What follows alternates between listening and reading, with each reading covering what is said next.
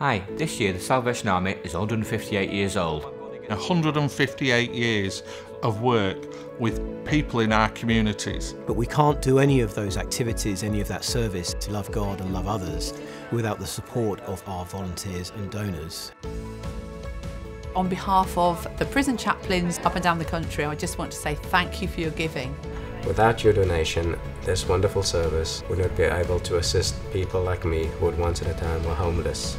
I just want to say a big thank you to all of our supporters, to anybody who's donated at any time. People now actually have a place to go to and actually have fun whenever they need to after school sessions and whatnot. So thank you very much for that. Thank you to anyone and everyone that have donated money to the Salvation Army. Thank you for your contribution, which has touched and help transform the lives of so many people. So tell me a bit about what kind of employment you've done. On the Salvation Army's birthday, we would like to thank you for your donations.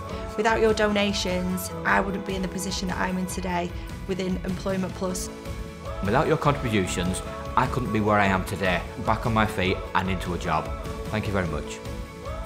We can be there when people are absolutely at their lowest. So thank you. thank you. Thank you. Thank you. You saved my life. Thank you very much.